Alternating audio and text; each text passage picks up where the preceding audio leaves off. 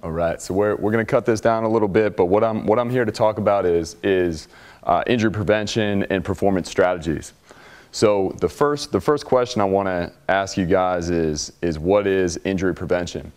And I think this is a key question to highlight the theme of this presentation, and that is why are we doing what we're doing, okay? So with injury prevention, I think we, we sort of stereotype it a little bit, and we think certain things uh, about injury prevention when we add a physio ball to something or when we add a Bosu ball or just because there's a band involved or we're doing a corrective with an ankle mob, then that means that's injury preventative in nature. When in reality, I would contest that if I have a 60 minute session with, with a team, uh, that whole 60 minute session is meant for injury prevention first. If you ask any strength coach what's their, what's their, first and foremost, what is their role as a strength and conditioning coach, it is to reduce the instance of injury.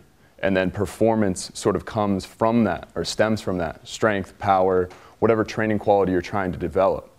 So as we go this, through this presentation, keep that in mind that everything is going to be treated as injury prevention. And why is that? I think the why really stems from probably my inquisitive nature and really asking that question constantly and thinking, you know, uh, what, are the, what are these band walks, what are these hip bridges really doing when we need to get that athlete on the field and do something aggressive in nature? Does that carry over? So in the past, uh, at least in the strength and conditioning world, and you know, I think the same with the rehab world is, we hear a lot of these buzzwords and these and these buzz phrases, and I think the three main ones are activation, mobility, and stability. So we, we talk about these things, and I think we have good intentions when it comes to this stuff, but I don't know if we really have a handle on exactly what we're doing. So I think as strength coaches, sometimes we sound smart, but we don't really know the substance behind this stuff. Phrases like mobility before stability. The athlete has a weak core. The athlete cannot activate his glutes. Let's get them on a back program. The EMG shows their glutes are activating. What does that all mean? And I think it goes a little bit deeper than what we, what we think at the moment. Um, and we have to sort of get better with how we apply these exercises to train these qualities. So before we get into this, my injury prevention mission statement, and the key point, and I know because we're limited in time, is this bottom, bottom portion here is using an integrative neurological approach. And that's what we're going to talk most about during the presentation. So these are things that I think about when it comes to injury prevention. First and foremost, there needs to be an assessment. And that assessment is going to come from a team of individuals and support staff, strength and conditioning coach, athletic trainer, physical therapist, massage therapist, doctor, whatever it is. We need to all come together to develop some sort of assessment protocol for all our athletes to get relevant information, objective information. Next is exercise choice. And of course, if I were to say exercise, you know, choose a good exercise. Of course we need to do that, right? But we need to know what the good exercises are, and we'll talk about that as well. Breathing is extremely important. I think that's another thing that uh, a sort of a fashionable topic over the past several years where we talk about diaphragmatic breathing or breathing into your belly or you know certain things that we try to implement into performance training. But again i don't think we know really the intricacies of that concept. It's not enough to just tell an athlete hey man you're not supposed to breathe into your chest and lift your shoulders. You're supposed to breathe into your belly. Well how does how do we educate and integrate that into something that's performance related education education is the number one thing. I think of myself more as an educator, so much more than a strength and conditioning coach. So I need to empower my athletes to make sure that they're going to do these things when I'm not looking. So most of the time, your athletes are going to be not under your watchful eye. So over summer breaks, over Thanksgiving break, spring break, uh, when they want to do extra on their own, have we empowered those athletes to know exactly what is right for them and how they should do it? Technique, of course, is important if you ask a strength and conditioning coach, you know, hey, what do you think of technique? Of course, what are they going to say? They're going to say, hey, you know, I'm a technique guy. I really focus on technique. Again, what does that mean? Do you know exactly what great technique is for each of these movements? So we have to continue to educate or our strength, have our strength and conditioning coaches continue to be educated. Programming, we won't talk too much about programming, but of course we have to progress. And then retesting to assess if this stuff is actually working objectively. So try to categorize some of these things when it comes to injury, injury prevention. What I want to highlight first is, is, a, is the warm-up. So I try not to use warm-up anymore in any of our training with our athletes because it, it connotates something where we're going to take 10 minutes and we're going to warm up for something else. Well, I don't want to take 10 minutes to warm up for something else. I want to perform 60 minutes of training. So this stuff needs to be worth it. So I don't need, you know, some of the times we get stuck on this activation, mobility, stability, and basically we're doing, we're just doing things to get ready for something else. We're not actually making a performance change. And I think that's a key difference we need to understand. If you're gonna have a big squat day with some of your athletes or a big deadlift when it comes to our realm, and you need to get them ready and that's all you care about, sure, then that's just your warm up. But don't, you know, don't confuse that with something that's actually making a change. Correctives. So with correctives, that's another term in our strength and conditioning world, and I think rehab as well, especially with the popularity of the functional movement screen, is we apply these correctives. But what we need to know is that these correctives actually have to make a change. So within a short amount of time, they need to make a change. And if they don't, then we're taking the wrong route. So we need to continually audit our programs and make sure we're actually, like I said in the beginning, doing what we think we're doing. The main thing we're going to talk about is this integrative approach divided into low threshold and high threshold movements. So the high threshold is going to kind of blend into the performance as well. So when we talk about performance, again, we're talking about performance from an injury preventative standpoint at all times, first and foremost. And we'll show you how and why we do that. And then again, with periodization, of course, just um, progressing correctly. So getting into the meat of uh, the presentation uh, with transfer training, talking about transfer training. So the top three pictures, what do you see? Three separate exercises. You see a plank, a trap bar deadlift, and a conventional deadlift. So the plank, uh, he's in a position, he's training a quality, what? He's training core stability. That's our goal with that exercise, low level core stability. Trap bar deadlift, easy way to, to kind of add resistance to a hip hinge, right? But does that plank plus the trap bar deadlift equal proficiency on a barbell deadlift? No, it doesn't. We're going from isolation, we're going from a different movement, and then expecting these two things combined to then transfer to this, this barbell deadlift. So what does that sound like? Sounds like athletics, right? Where we try to isolate and then all of a sudden integrate into something very aggressive, and that doesn't necessarily mean that that athlete's gonna be successful in that aggressive movement. So even though the muscle and its anatomical function can reach maximum potential, its integration into a specific postural function can be quite insufficient and the muscle fails in this function. So again, that integration, how are we doing that? So the bottom highlights this a little bit more, more uh, related to athletics. So the bottom two pictures we have sideline clamshell, one leg hip bridge, and then we have Usain Bolt sprinting. So I get, uh, from my athletic trainers, a lot of times you get that whole like the athlete can't activate their glutes. Well, if we put them in a clamshell position and we say glute turn on, hip bridge, glute turn on, does that mean they're going to stand up, do something aggressive, and utilize their glutes? I don't know if that's true. I think, it, I think it's a, a little bit deeper, and I think we need to work some sort of integrative uh, patterns into this to make that transfer a little bit smoother. So the first uh, examples of these low threshold integrated movements, I'll talk about some of these movements are influenced by a, a training modality uh, known as dynamic neuromuscular stabilization.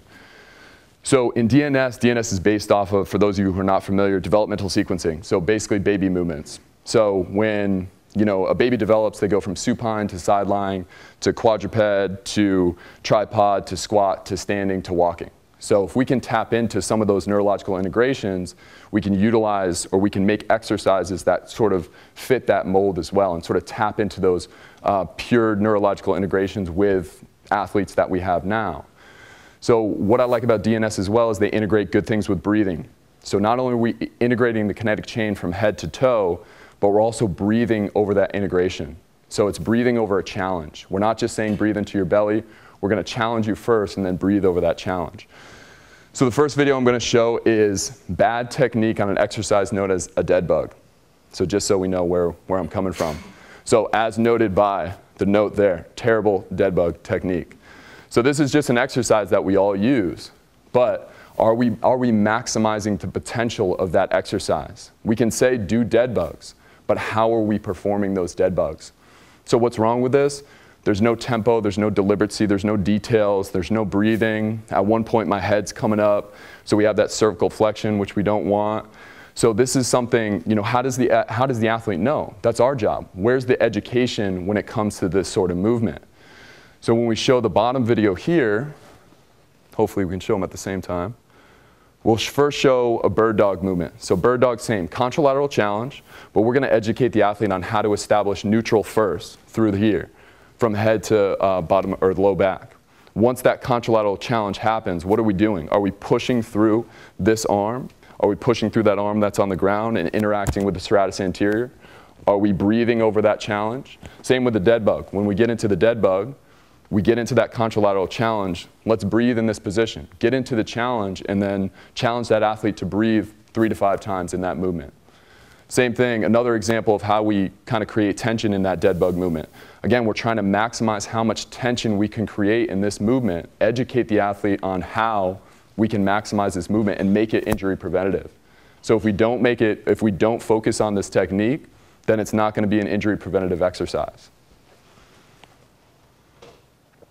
Another example is some low threshold work. So again, like I said, breathe into your belly is only going to take you so far. The top picture is somebody doing crocodile breath. So basically they're in that prone position and they're breathing into their belly. Good education, but we need to take that to the next step. So these bottom two videos here, or these exercises here, are examples taken strictly from DNS, taken strictly from uh, sort of these developmental sequence moving, uh, movement patterns. So what we'll see in the first video is me cueing the athlete on how to get into a correct position. Now, at first, it's coaching intensive, but if you educate the athlete well enough, then these athletes are going to be able to do this on their own. So at first, we're trying to establish neutral. So we're getting that athlete out of extension. Do they know what that means? Do they know what getting out of hyperextension means? Hopefully, we're educating on that. Educating on them uh, on how to activate their posterior chain in the movement. Once they've created that tension and that pressure and they're in the correct position, those knees are going to come off the ground, and that athlete's going to start walking back into a bottom of a squat position. Taking it slow, so I'm cueing that athlete the whole time to keep a tall spine. Once they come up to the bottom of a squat position, we're creating some external rotation, activation of the posterior chain, breathing into the belly, solidifying the core.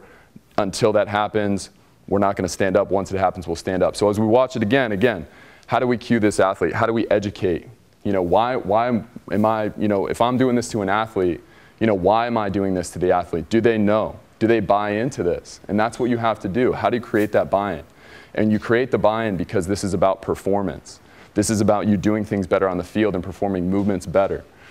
So as we go through this, again, it's about position, teaching the athlete what these correct positions are and how do we integrate. So again, integration is the key. Not only are we breathing just into your belly, but we're challenging you from head to toe. So look at this exercise as your new front plank. Look at that bear position as your new front plank, a better version of that, a more purposeful version of that. That's injury preventative. Same thing with the oblique sit iso hold. So oblique sit is just this sideline position here. So I'm cueing this athlete to create some integration with that forearm and the ground. We're really trying to push the ground away, establish some neutrality through the torso or from head to low back. This is actually a transitional pattern, something you can use moving into quadruped, which we won't do in this, but this athlete, again, is getting tall. Once they're in that position, we're going to rotate that left hip over the right. Once he's done that, the right hip comes off the ground. Once I cue him on his torso position and he starts to breathe, then we can cue him to bring that, in this case, his right foot off the ground for more glute activation. So head to toe, it's a challenge. From head, shoulder, core, glute, everything is being challenged here. Better side plank, more purposeful side plank. So again, knowledge is power in this situation. Are we satisfied with 30 athletes just doing side planks for 30 seconds? Or can we maximize the injury preventative nature of this exercise by doing something better? Moving into high threshold. So uh, I'll talk, what I'll talk about here is, is ACL preventative work. So um, something that we all do uh, from a performance standpoint, from an athletic training standpoint, um, we want to you know, go through and do things that are uh, going to prevent ACL tears. And what do you see a lot of times? There's you know, band walks, there's you know, sort of band around the knees and knees coming in and out here. Uh, we're doing jumps and focusing on the landing, things like that, hop to stick. And that's the exercise we're going to focus on, or, or what I'll use to kind of highlight this point is this hop to stick movement. So at the top here, what, what do we say? Post-operative and return to sport rehabilitation programs that challenge dynamic neuromuscular control, facilitate technique perfection, and enhance limb symmetry may also successfully reduce the movement impairments associated with second injury risk. So again, key words here. Neuromuscular control and facilitate technique perfection. Below that, therefore, achieving optimal trunk stabilization should be the first step when training optimal movement of strength. So achieving optimal trunk stabilization. So are we looking at the knee or are we looking at the trunk? So the first hop version in this is hop without core control. So I'm trying to hop and demonstrate bad hops. So this third one again, we're leaning. So where are we looking? Are we cueing the athlete at the knee and saying something has to happen at the knee, or are we first talking about their core? Hey, remember that core exercise we just did in the beginning, that bear position or the oblique sit? Remember that feeling that you had. I want you to replicate that feeling with something a little bit more dynamic that you're familiar with. So can we hop with core control? Are we cueing the athlete at the knee or are we educating them about their torso position and about their core control? And that's what I think. Again, educate our athletes first. And you as a coach know where we should be looking. Uh, the last few slides we'll talk about how we make injury preventative work, uh, um, injury prevention a part of everything. So first with education. Again, first and foremost, the most important thing. And I'll use uh, some of our pelvis manipulation work to highlight that as well. So what we'll highlight here is, is something that is, is just a small thing that can change a lot of your movements. And if we think uh, track and field athletes especially, who kind of camp out in this position, right? Sort of butt back, hyperextended position. So that's a position that for some athletes makes them really, really good. So that's a good thing for them and it allows them to run as fast as they need to run. But with those athletes, am I going to exacerbate that problem in the weight room by telling them to deadlift, power clean, and squat with that same hyperextended low back position? So if we educate them on how to manipulate their hips a little bit, then we change a lot of their movements for the better. So the first movement you'll see is simple, cat-cow. We've probably all seen this one before, all right? So as I'm pushing the ground away, I'm going into a posterior pelvic tilt, right? So I'm breathing out, hip is tucking under, so the athlete starts to feel what that feels like. Next, the supine 90-90 position. Again, breathing out, using my heels to pull down against the wall, and posteriorly tilt. So again, the athlete feeling what, okay, what, is my, what does neutral feel like for me? What does this position feel like for me? Does it alleviate some pain or does it, you know, kind of establish neutral for me? Same thing with this squat. So PRI squat, this comes from the Postural Restoration Institute. So basically I'm trying to breathe out, reach as far as I can forward, create that posterior pelvic tilt, and then once I dive into the squat, what happens? Looks like a little bit more of a neutral squat versus a hyperextension based squat. Okay? So, so what, what I'm trying to do with that pelvis manipulation work, again, I'm not trying to tell athletes to, you know, for my rehab guys, I'm not trying to tell athletes to squat with a posteriorly tilted pelvis, but I'm educating them on what is a posterior, what does the action of posterior tilting mean? Because if you're in a hyperextended state and anteriorly tilted, if you can get out of that a little bit and then squat in a neutral position instead of a hyperextended position, then I think you're in a better spot. You start using the muscles that you're supposed to use. You start using your core instead of creating some false, bony, hyperextended base stability to perform those type of movements. So draw the stability from the core, and you can only do that if we establish neutral first. So the next slide here, continuing with education. To prevent overloading of soft tissues in the skeleton, the muscle activity, or rather the CNS and ligamentous structures, must ensure that stabilization of the segments occurs in a centrated neutral joint position. So again, we're probably hopefully familiar with, you know, what does a neutral joint position mean? What does centrated mean? That just means a good position for your joints and then working from that good position. So the top video are bad examples. Bad RDL. Do we know that that's a bad RDL? There's no foot interaction. We may say, well, flat back, but where's his head position? Where's his eyes? Same with squat. We may say, okay, that athlete got to depth, but there's no heel interaction there. There's no foot interaction. So we're not maximizing our muscle activation we're not maximizing the use of our posterior chain. Same with this RDL. Again, hyperextension base, eyes are up, bad everything. No interaction, no full foot uh, interaction. So are these exercises, do you think of this as performance? Did you have an injury preventative, uh, your injury preventative work, 10 to 15 minutes of that in the beginning, and then you said, okay, let's go into our performance work? Well, if we lift like this, then what is that injury preventative work worth, all right? And do the athletes know what we're looking for? Do the athletes know why this stuff, why this is not good enough? All right? So again, we're not using the musculature that we need to use, therefore not injury preventative in nature. So bottom video is hopefully uh, the good form. So we create pressure through relaxed shoulders, strong grip, using a hip hinge, not using an extension or hyperextension based butt back sort of cue. After each rep, we're resetting. So that's a good position for our athletes. I'm using my glutes and my hamstrings in that case, in that exercise. Same with the deadlift. Find your hamstrings first. Okay, we're kind of rolling back, keeping full foot interaction with the ground, staying neutral in terms of your head from your head to your low back. Once you create that pressure, hey, remember those core exercises that we did, how you created pressure in those positions? Same thing with your deadlift. So educating from the beginning to the end. Same with your hang clean. We don't want to heaven forbid you have somebody that tells people to retract and depress during some of these barbell movements. Don't do that. You can't establish good pressure through that. That's hyperextension based false stability when you retract and depress. Create your pressure through core stability, through grip control, or through a strong grip. Break the bar is a good cue. Breathe into your belly, create that tension, and then go into the movement. So, again, education for the athletes. And are we accepting that and saying, hey, you caught the bar? Or you squatted to depth? Or are we saying to that athlete, hey, this is actually, hey, you did it, but we need to do this better?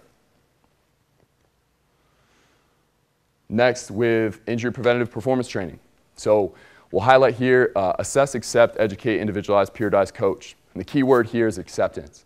So we want, we, what I'm going to touch on here is not trying to stick a square peg in a round hole and realize that everybody's different.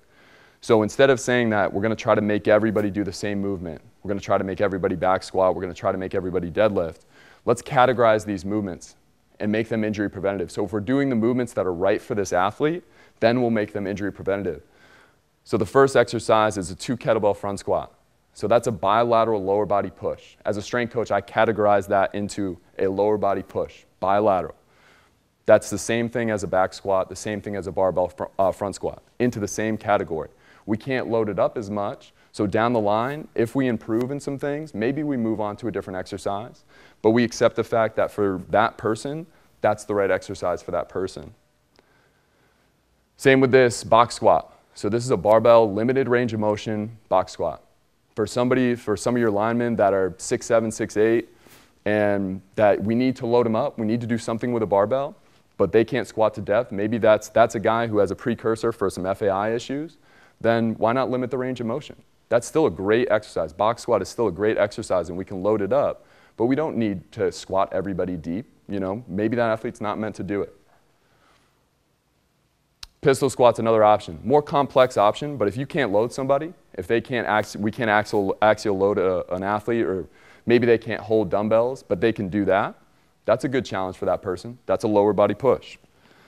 Last one, barbell split squat. Same thing. We may say that we may find with that athlete bilaterally they're not good in terms of squatting. So we can't put a bar on their back and back squat. But when we disassociate and we get them in that unilateral position, then they're pretty good. So let's roll with that exercise. So again, point being, accept the fact that, hey, everybody's different when it comes to these exercises. And we don't have to try to change all of our athletes to try to fit that, that one exercise. Last thing I'll talk about, injury preventative coaching. So the picture on the right, I believe, is somebody who is, is getting educated on. This is an example of uh, lateral speed, like a lateral speed day. So teaching pro agility or the 5-10-5 drill, which I think we're all familiar with, especially with the combine.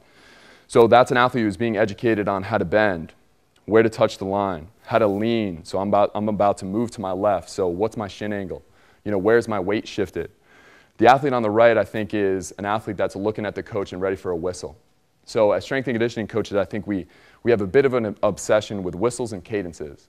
So there's a time and place for that for sure. You're warming up for a football game, you're on the field, you better make that look good. Guys are on a whistle, guys are doing the same thing.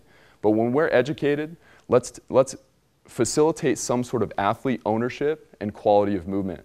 So when I'm educating, some of it may not look all the same, but it's individualized. So if I have, you know, and you're probably thinking, well, how are we going to do that with a, a huge group of athletes with 30, 40, 50 people in the room? Well, you know, if you have your eight to 10 athletes that are the first group up and they have a drill where they're going to have to do this, we're going to have to, you know, 10 yard sprint, transition like you're going to change direction, and I want you to look like this on the left. Explain the drill. What's expected of the drill? And then say, hey, group one, this is on you. Whenever you're ready to go, us as coaches, we're going to cue you up once you get there, but this is on you. Take some ownership in this. Think about, actually think about what you're trying to do instead of waiting and kind of panicking about a whistle and waiting to make sure that you look like the rest of the team. So, hey, don't pay attention to anybody else here uh, as far as your athletes. This is on you. I want you to get this thing. So, same with our, our hop example uh, earlier. So, if we do hop to stick and it's on the whistle, a lot of times you see a group of athletes and a, and a coach that's saying, okay, everybody on the team is doing this hop to stick. Okay, so we're going to hop. Once we stick, wait for the next whistle. So this is on the whistle. Now, most of your athletes are going to hop, stick, look up at the coach, and wait for that whistle and make sure they're looking the same as, as everybody else on the team. When in reality, we can just take one group and say, hey, we've got three reps. This is what the exercise looks like. This is the goal of the exercise. We're focusing on your core. This is the position I want you to end up getting into. You may not get it week one, but take your time, do this on your own. If you fall off balance, instead of trying to maintain it and afraid that you're going to get in trouble, reset, and you've got maybe two more reps after that, okay? And take your time, and we'll coach you up as you go along. So I think when it comes to education, we have to kind of foster an environment of ownership and quality with our athletes. So probably asking, how do, how do I do this, especially if they're strength and conditioning coaches or if you work in a team environment? The key is to work closely with your support staff. That's a huge thing. And we all talk about it, and I think sometimes it's a lot of lip service where we're like, yeah, you know, we need to communicate. But it needs to go beyond communication. We need to actually work together somehow bring your physical therapists and your athletic trainers, bring them into the weight room, somehow get them involved. Because I think you save time on the back end. They may say, hey, well, that's not my job, that's your job. Well, again, we're going to save time at the back end because you don't need to do as many rehabs.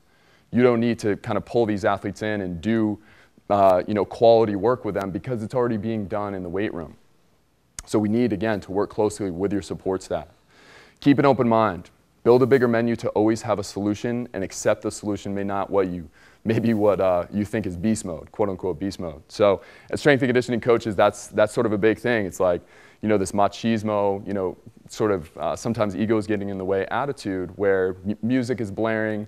You know, it's that dark, dirty environment where that hey, this is we're building our attitude here, and that is a huge part of it. Don't get me wrong, I love love that aspect of strength and conditioning, but it's okay if somebody's not doing the same thing as everybody else. You can still turn up the music for that kid who's doing a heavy split squat. You can still get after it with that kid who's doing the pistol squat. That's okay, all right? So keep that open menu and you have that solution for the athlete. What does that say? That's for them. So what we tell our athletes all the time is that the glory's on the field, the glory's not in the weight room. So 10 years from now, you're going to remember that championship ring. You're not going to remember how much you squatted in the weight room on a random, on a random Thursday in, you know, in, uh, in August or whatever it is during a testing day. You know? You're not going to remember that. So make sure it's about the athlete. It's about performance. Realize everyone is not the same, and I touched on this before, and don't try to change them. We could still cater to that without losing the team dynamic. So utilize your support staff, utilize your PTs, your ATs, come up with this individualized strategy for your athletes. Sometimes we get scared about individualization as coaches because we don't know where to go. So it's, it ends up, it can be pretty simple where all we need to do is create a couple buckets for our athletes. You know, this person's doing a certain lower body push, this person's doing a different one, this person's doing plyometrics, this person's doing Olympic lifts. You know, the dudes, the dudes that are doing plyometrics can't, you know, Olympic lifts, so that's why they're doing that. But we have options for everybody. I think where we got in trouble is we tried to correct everybody with our individualization. So with our individualized programs, we are saying, okay, well, this person needs this corrective, and we're going to try to change this, and we'll end up doing this.